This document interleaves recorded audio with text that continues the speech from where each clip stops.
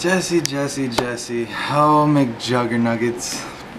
You know, you, you, your videos meant a lot to me, and they still do. Everything you did, it was awesome. It, it brought so much passion. I cried, I laughed. Um, everything about it was great. So that's why I think you making this move will actually not be a bad idea. It's actually a great idea. You have so much potential and so much imaginary thought and and you have a brilliant mind for making film and making movies and I can't wait to see what you do. I'm excited. Um, I'm happy for you. I know a lot of people are going to be pretty sad that you're leaving and yeah, I am sad that you're leaving YouTube. I'm pretty I'm pretty sure there's everybody's going to be sad, but you'll find out who your true supporters are, the ones that stick around once you leave YouTube.